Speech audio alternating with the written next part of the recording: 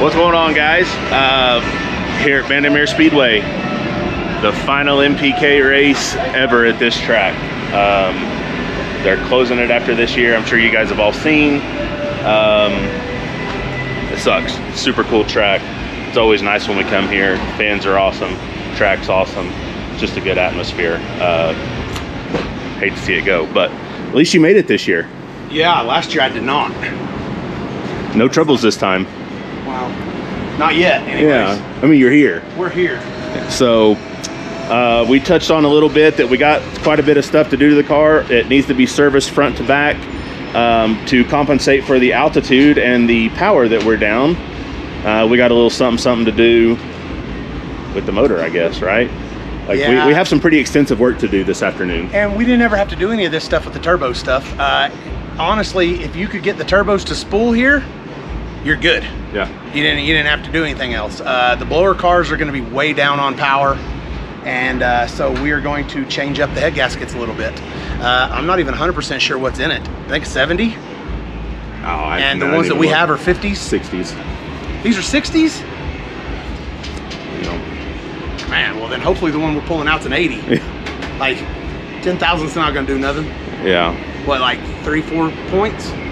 Uh, Oh well, Yeah. whatever. Uh, when our guys who are tuning on the car tell us to do something, we do it. Yeah, know? yeah. And he said, put these, put these, uh, these other head gaskets. Give us some there. more compression ratio. We'll give it a little bit more compression. Uh, we're probably going to change the stator. Uh, we're not 100% sure on that yet, but got to do a few things to this just to try to help it out a little bit. You know, get a little more power on on motor itself. Uh, you could probably turn the blower harder. I don't think that's the right call. at the expense of At the taking power expense away of from the taking motor. power from the motor that it takes to turn it. Yeah. Uh, whereas again, with turbos, you don't got to worry about that. It's all, Put some more CO2 on the gates. So, Yeah. unless you got the electric gates. yes. So, Yes. so here pretty soon, uh, we'll start tearing into it. It's not going to take that long. Literally, I'll pull the heads off. I'm gonna do one side at a time. I'll do my line everything up on my table, and uh, It amazes me because you still can't ever find the nuts that you need when you go back together uh, with it. man, we did all right the other day. Besides, but the boys also lost a couple. Yeah. And the tools that it takes to do it. Yeah. Super frustrating. Yeah. So while you guys are doing everything else, I'll, I'll probably uh, do the head gaskets, and then we'll call her good. All right, so first head is off. Uh, this is what the cylinders look like after 12 passes. Good, obviously, because we've got the best tuners in the world. Um, these are the heads after 42 passes. We didn't change anything on the heads when we freshened it up. Uh, not on the uh, scheduled maintenance as of yet, but we're getting close on them. They're not real flat out. Nah. so, um, so the head gasket that was on the car was a 90 thousandths. Head gasket we're putting on it is a 60 thousandths. That's a that's a pretty good jump right there. yeah. We're talking some fucking muscle. Hopefully. We'll see. These things need to be. Oh, yep, I remember that. That didn't get uh, pushed down in there when we were putting the intake on. That's why this one leaks. It didn't get pushed down in there. And when we were tightening the intake up, there was a big pop, and everyone got real nervous. I, I knew what it was, but I remember it. I remember the pop. You know how it is, man. Oh. You do things more more than once. Yeah. You know, and you start learning stuff. Like, I remember the first time from doing that that that, that needed to be done. Because honestly, if I didn't know that it would pop in there like that, I'd I'd lop them off and then just put some silicone on there. Yep. And you probably still could, honestly, if you wanted to. Okay, where to head at? Let's slam her home. Man, this ain't much heavier than a good old set of 243s off an LS.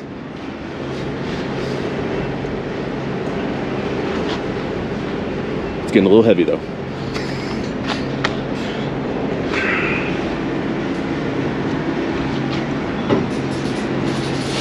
So give a little inspection to the valve train here. All the rockers, the adjusters, the tips, push rods, everything look good there. Uh, once everything's back together, I'll do a check on the valve springs to make sure they're all still good to go and they're not getting light on spring pressure. That way, uh, you know, right to break one of them prematurely or post-maturely, however you'd like to look at it. But uh, he's going back together with this side. The other side's ready to come off, and then uh, we'll start buttoning this deal back up and do everything else we got to do. Okay, so the motor is done. Got the head gaskets changed out to get us some more compression for up here at altitude. Got the stuff done on the transmission that we wanted to, which was adding this dump to the back, taking off our double dump that we had over there on the side. Um, we mentioned. See how nice Jeff's zipper Yeah. is on this shit? So we mentioned uh, we were coming up with a way to try to keep the front of the car down because we feel like this big ugly beam tripper that we put on the front of the car is really nothing but ugly at this point. It's it's too high to be in the finish line beams because the car front of the car is so high. That happens because the front of this car is so flat, right? Like we can all agree, the front of a Nova is pretty flat. So what that does is push it. There's a lot of frontal air in front of this car. A bunch of it goes underneath the car and is keeping the car lifted up going down track. So the idea here Is the split- The idea here is this splitter is going to split the incoming air, and instead of allowing it to go under the car, it's going to divert a good portion of the air up over the car. So, had uh, Bob Tynan at Tynan Race Cars, the guy who built Daddy Dave's new Audi, build us a splitter. And it's a pretty nice piece. It's way more elaborate than what I was going to do. I was going to take a piece of carbon from McAmis, trace it, slap it on there. Stuck out about an inch, bolt it on, call it good. But this thing's nice. So, I believe we're ready for the weekend. Got new tires put on, got some new wheels, full red. The old wheels, we just put some red centers in with some red bead locks because our other wheels weren't quite ready yet, which is these. We've had them in the trailer for a little while. It's finally time to change tires. We put, we put the new tires on the new wheels. I like them.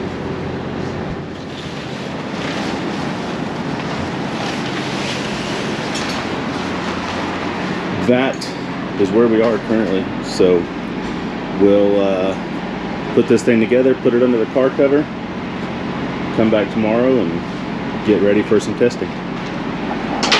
All right, so Friday, car's ready. Uh, it's just about go time. Start making our test passes. Um, we did find in my little pre-checks this morning, found a broken valve spring. Number eight intake, 42 passes. Noticed it was a little weak while I was checking them, pulled it off, found it was broke. So that's that. Other than that, everything's ready. But on a lighter note, there's an old friend here to visit us. Yep. The big block swap K5. I know, man. This shit'll probably fight us the whole way with that thing being here. Yep. All weekend, probably. But whatever. Yep. Now, she, uh, sh I'm pretty proud of her, man. She has put on so much of her own touches to this Yeah. thing that it's cool. Like- everything that she said she was gonna do, she's done. We'll let Jeff spool. Get right with you.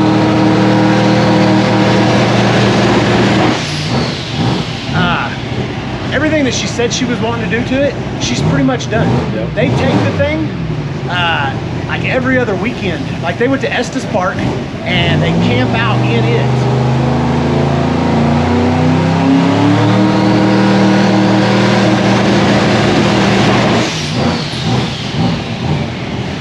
What was that little big old puff of smoke right there? I like how their exhaust is just blowing right on our propane tank Oh, right yeah. there. That's pretty cool. Yeah, getting it, plenty of pressure. But man, she's done stuff on the interior. She put carpet in it. Like she painted that thing. She made a top for it. She made the top for it. Uh, like a little Bimini top or whatever. Bimini What- what- whatever the or- Jeep people call yeah. it. Uh, but I'm most impressed about the paint job.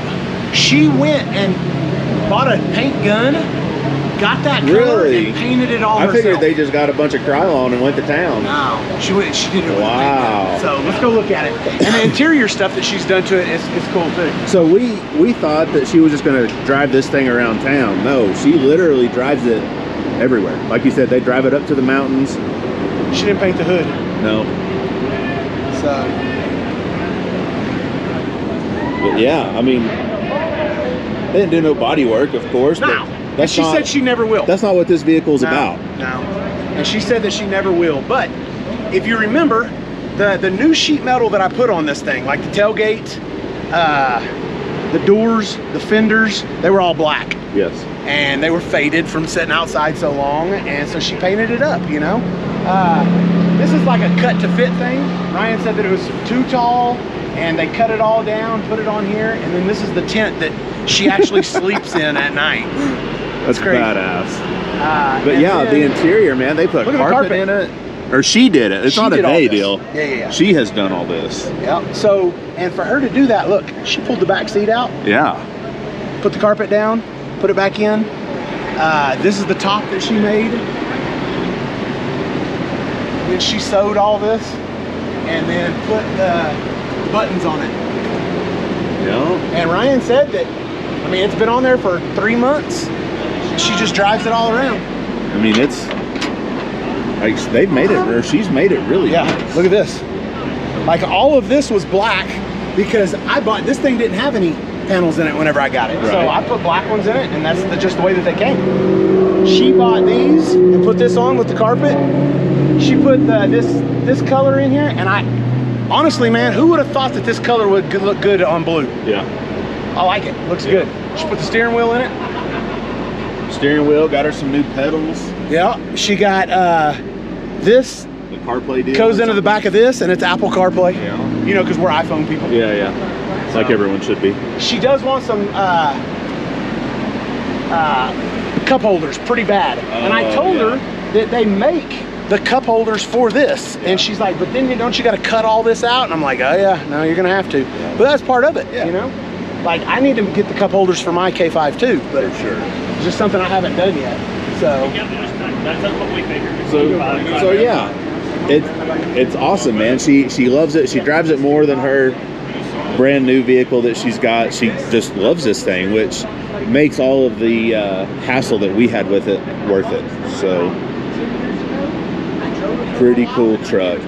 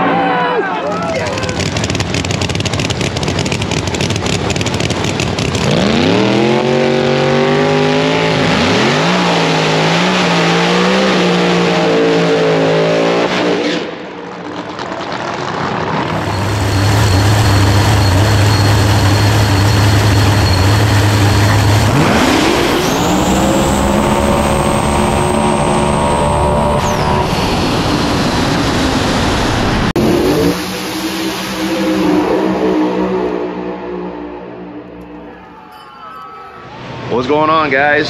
Saturday here in Las Vegas. We are still on, let's call it Cloud Nine, man. We, we won the Grade 8 last night. We finally got it done. Man, huge sigh of relief for all of us. Uh, thank you guys for sticking with us through all of this stuff. We're picking up some momentum. We hope to keep it going on through today in the Invitational because as cool as winning the Grade 8 is, the Invitational is the one we really want. So uh, we need to go out there, do good today, and secure our spot in the Grade 8 so that we don't have to chip draw again. So we got here yesterday, obviously. Well, finally, let's let's just talk about this week that we've had. We went to a ball game Monday night in Denver. Watched the Rockies play the Cubs. Uh, of course, the Cubbies won because that's what the Cubbies do until it's playoff time, and they let us down. But they got the win there. Had a good time. Went home. Got some sleep. Got up the next morning. Started to head to Las Vegas. Sean took a shortcut and then didn't make it. So the motor in the Pete is trashed. Uh, the guy that screwed us around last year on the side of the road, um, his crappy work finally came to light.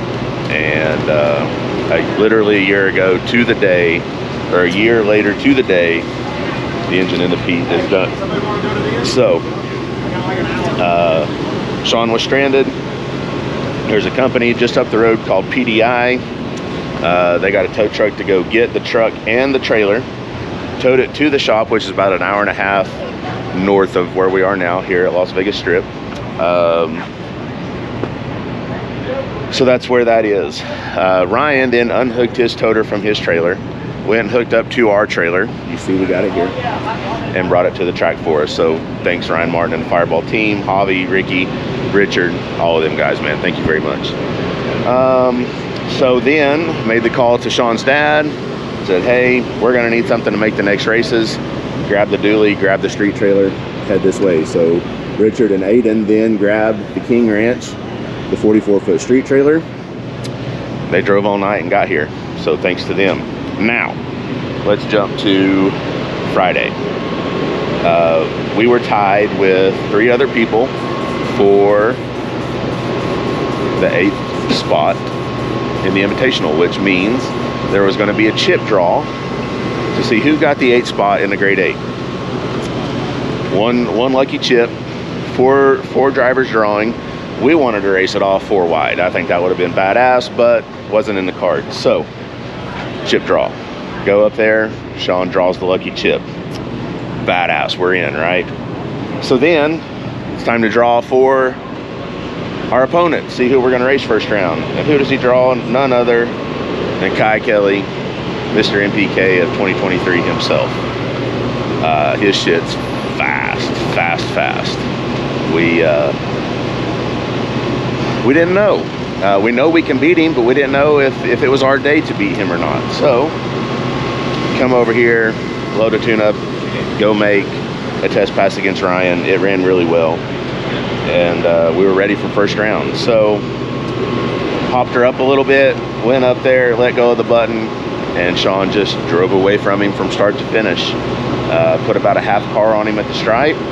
On the second round, we win.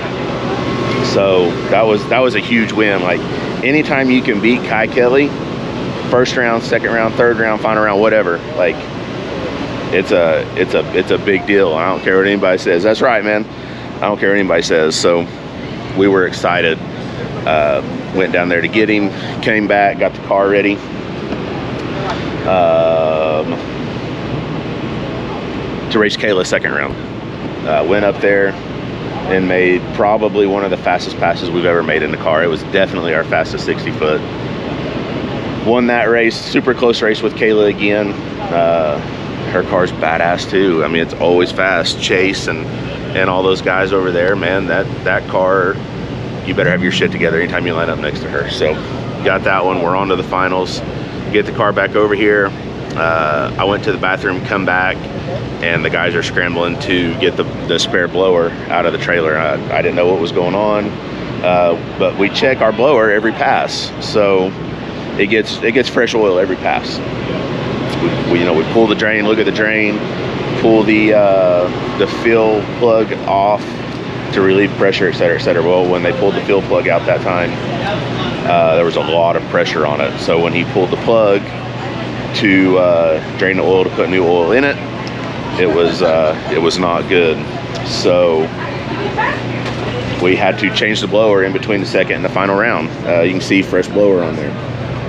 One pass. That one pass was our final round win against Nate Saylor. Um, su- we're, we're super excited, like I said. Uh, our, our first win at NPK. And uh, it's all our guys that we've always had, you know. Uh, everyone can say say what they want, that Sean ain't gonna win unless he gets some real help, blah blah blah. Well, whatever. So we're here, we're, we're doing good. Our, our team's awesome. Uh, Sean's Sean's doing great behind the wheel. He's he's killing the light every round. Our tuners are badass. Brandon, Petty, all of them. Uh, they're they're just awesome. So we, we got us a win, guys. Like we're we're happy. We're we're hoping to carry this momentum into today. We're hoping we can tell people all day to bet on black because that's what we do when we come to Vegas. So. Uh, Sean was a little under the weather this morning, so he, he was he was in the trailer kind of late, sleeping it off. Uh, so we'll, we'll get his take on it here in a little bit. He's over there signing signing autographs for all the fans right now. We've got a line. It's crazy. So here's Sean right here, obviously, and then the guy out there with the umbrella is the end of the line. So he's uh, he's going to be here a while. But that's where we are as of now. Uh, again, thank you guys for sticking around with us. Uh, the the real fans, the real ones, we, we appreciate you. So again, hopefully we can carry this momentum into today. Uh, he's got a captain's meeting in about 45 minutes, then driver's meeting. We'll figure out who we get first round, and uh, we'll see if we can double down here in Vegas and, and get us an invitational win. So, uh, as always, guys, if you haven't already, sorry, I'm losing my voice. I was screaming like a madman last night. Uh, if you haven't already, go ahead and click that subscribe button. Uh, share the channel with your buddies. Share the video. Help us grow this deal a little bit more. Uh, we're going to show you some more badass racing here in Vegas, so stick around.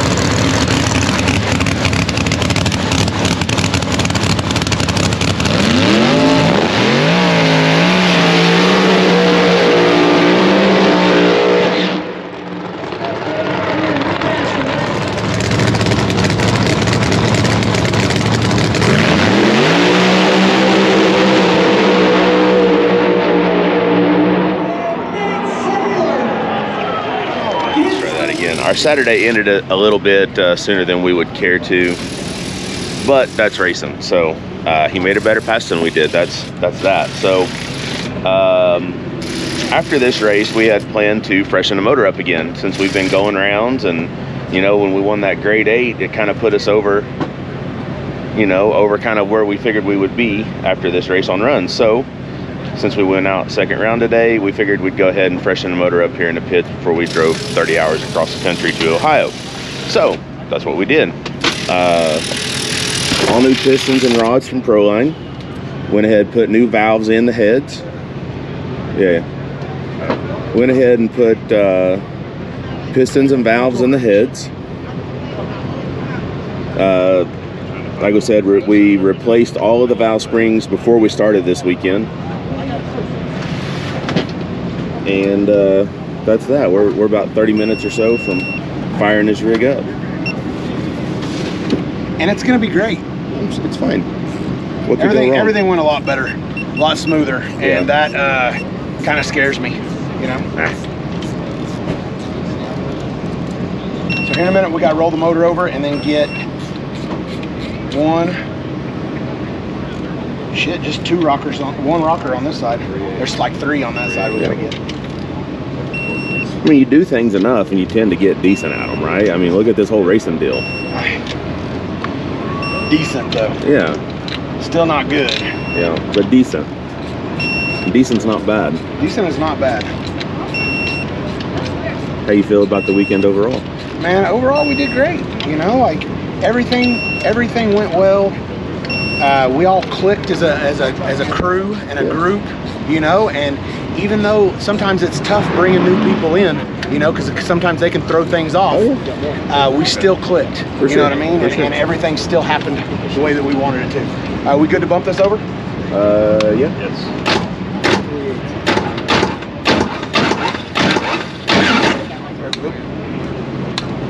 Um,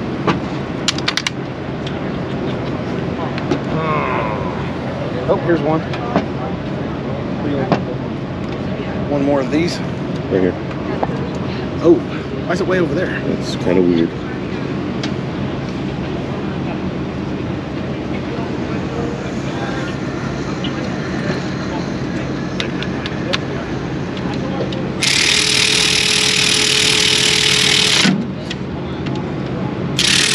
Yeah, no, it, it, it seems like it's got all the torque. Yeah. You know, like this thing's really good. and Yeah. It's not. It's terrible.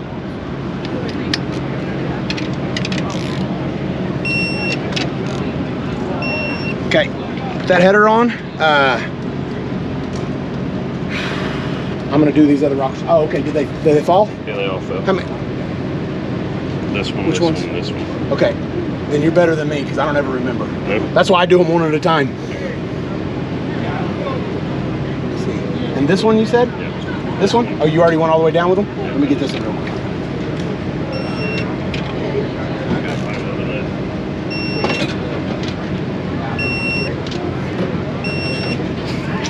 Just because, Yeah. hey, I don't trust that, man. That's why I leave the nuts off of them and then I do them one at a time. Did you find another nut? What? They were all up, over there. Come here. Come here.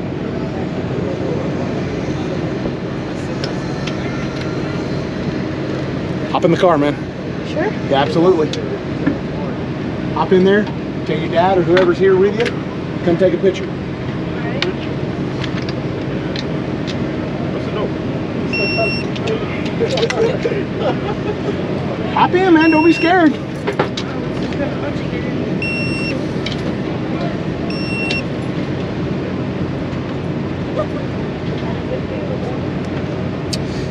So this weekend, we went through some parts. Man, we kind of did, It, didn't we? wa- I mean, it was normal maintenance stuff. Like it was time for everything that we changed. But man, like a lot happened this weekend. So But we also, I feel like, caught everything. Oh, we did.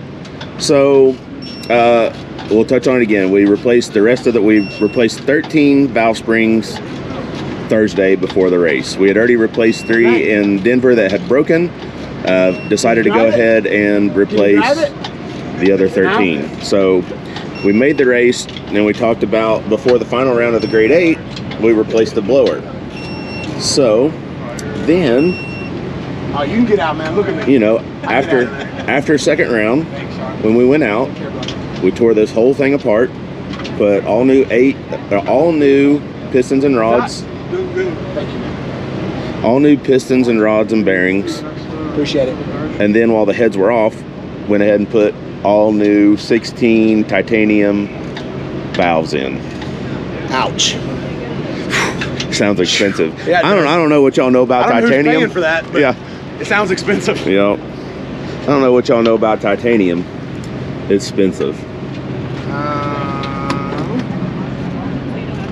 but it's all back together now. Uh, everything's torqued at this point. I'll run the valves, uh, put oil in it, and fire it up. Right?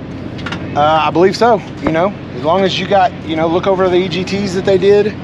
Um, make sure that uh, the head grounds are plugged in because I didn't do none of that. Yeah, yeah, In fact, yeah. I see. Yeah, it. see? Yeah. um, they're putting another header on.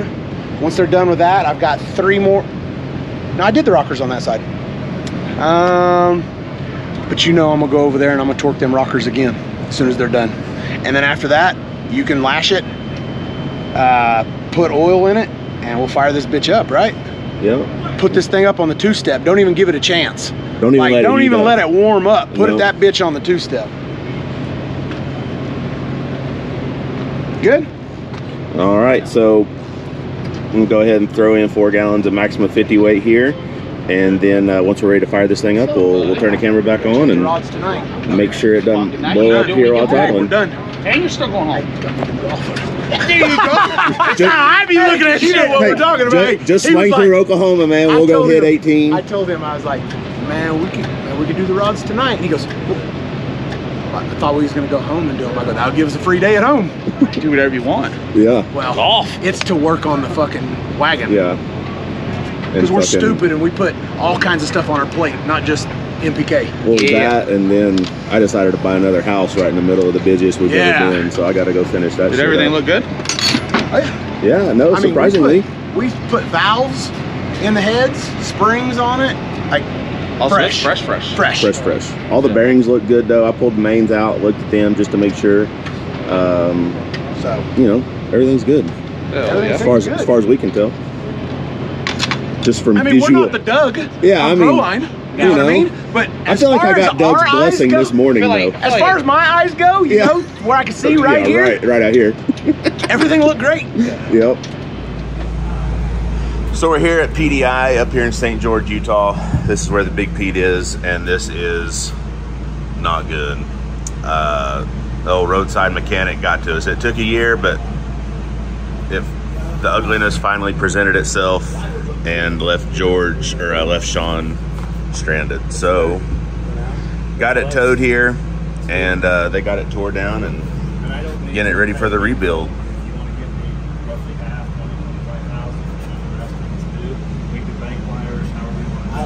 when it's time to finish paying it out, I just do that way. That way I don't have to worry about getting mad at check or whoever comes and pick it up. Absolutely, if you're okay with it. 20? 20 works? So Okay. Here we are again. Yeah, yeah, yeah, yeah. At least But- you're not stranded this Hey, time. look, I'm not near as stressed out right now as what I was the first time. Yeah. Uh, all you got to do is mention these people's names, and anybody in the trucking business knows who they are, Yep. and they're a reputable shop. It, it's not a on the side of the road shop. It It's wasn't like the last guy that, we, that when we told people they said who. Yeah, it's a destination shop, is what this place is. Yeah. So, you know, like, there's nobody that I haven't mentioned it to. Jim Howe came over and talked to me this morning, and I told him where the truck was. He goes, "Oh man, they bad motherfuckers." Yeah. man." And I was like, "Yeah, yeah." That's, Yeah. what I keep hearing. So, you know, we're, we're not really in the trucking business. Yeah. You know, so this is stuff that we probably should have done the first time when we was on the side of the road, and we'd have been 26 grand ahead. You know, so Yeah. and it wouldn't have been everything that they told me when they tore this thing apart was my worst fears, and it's exactly the way it played out in my head. Yep. Uh, metric bolts stripped into to standard holes, like nothing was done right. None of the injectors matched. The, Uh, the brand new head that you put on brand new head that I put on is already worn. Uh, it's it's one of those things that I, I knew it, you know, and I knew driving this thing, it wasn't the way that it was. Yeah. Something wasn't right, you know, and it, and it took a year of driving it for it to, uh, you know, tear everything up again. Yep. So hopefully this time we don't have to worry about it. I, I think we're in good hands. So, like we mentioned last year, you guys remember, like one of the things we waited so long on was the new head, and uh, it's already trashed. Hopefully, the new cam's still good. None of the injectors were part numbered right, like none of them match. Uh, a bunch of the rollers are messed up. It just, man, that guy. I wish I could remember the name of the people so I could tell y'all so you could blast them but I don't remember the name. But they definitely screwed Sean out of twenty six thousand dollars for sure. So this basically this thing needs a full rebuild. All they're going to use here is the block. Everything else is just trashed. Uh, we were hoping that this white one back here was ours, but it is not. That is a little out of our price range. But this one's going to be cool. It's getting uh, one of their turbocharger kits. It's getting uh, it, it's getting all of their stuff so they know that it's going to be right when it leaves. And there's a bunch of other trucks running up and down the highway that got this same stuff so we we know that we're going to be in good hands here. That's where we are. Um, we're fixing to hit the road. We're aaron's getting stuff out of the motorhome part here to pile in little pete. Uh, we brought the stacker up here with little pete. That was uh, i wouldn't want to do that all the time.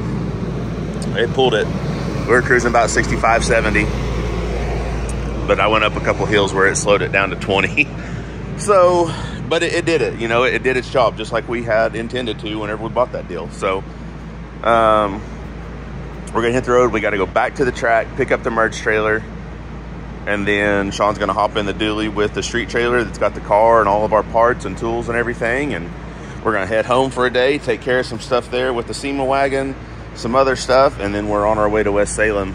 Um, and uh, we'll see if we can keep our momentum moving forward. And man, we, we, we want that invitational win. So uh, we're tied with Giuseppe for the eighth spot currently. So there'll be a chip draw to see if either Sean or Giuseppe gets into the uh, Great Eight. Hopefully it's us again. We can go out there and get some more data, hopefully pick up another win and then uh, onto the invitational and see if we can get get that win. So uh,